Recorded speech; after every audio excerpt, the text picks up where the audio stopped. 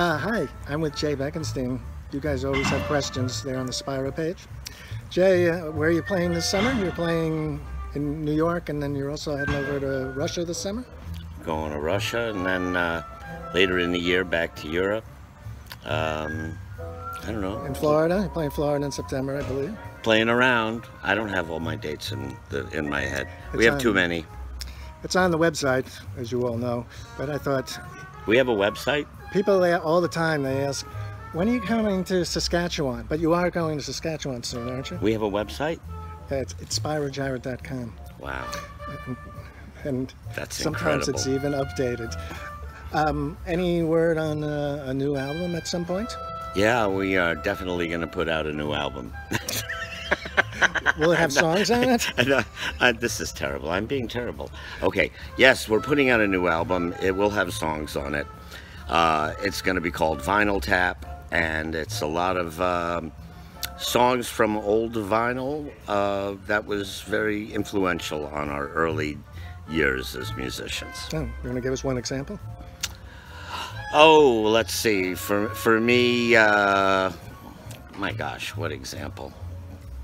I'm out of examples. Uh, There would be these. By the way, Dr. John did the same thing to me where he couldn't remember what was on the album. Uh, Just one song that's going to be on vinyl tap that influenced you Okay. in some way. Well, the one one one of those songs that uh, are on the thing that affected me was a very very early song from the '60s called uh, "Secret Agent Man."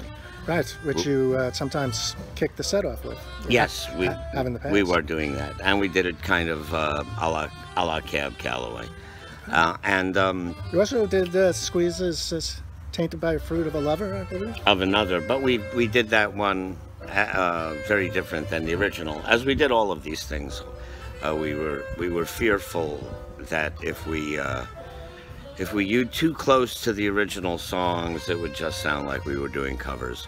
So we were, were quite interpretive, and uh, that tune turned into a slow blues. Nothing but by the uh, Strawberry Alarm Clock, I would assume.